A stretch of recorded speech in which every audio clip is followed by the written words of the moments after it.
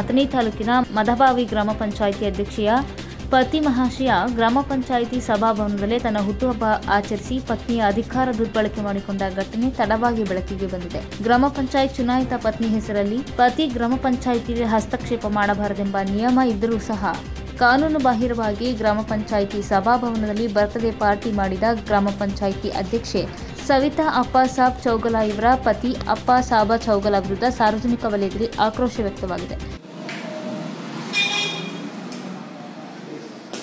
Happy birthday to you.